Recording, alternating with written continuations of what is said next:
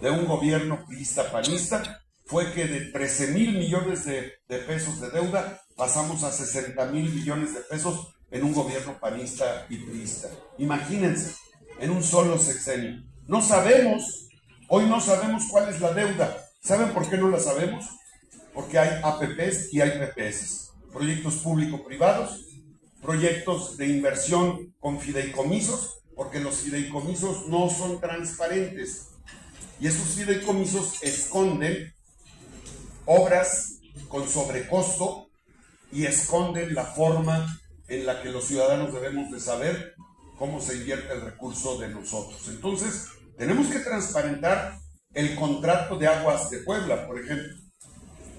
Tenemos que transparentar cómo hicieron las privatizaciones del Zócalo y de la primera de la ciudad de Puebla con los con los parquímetros.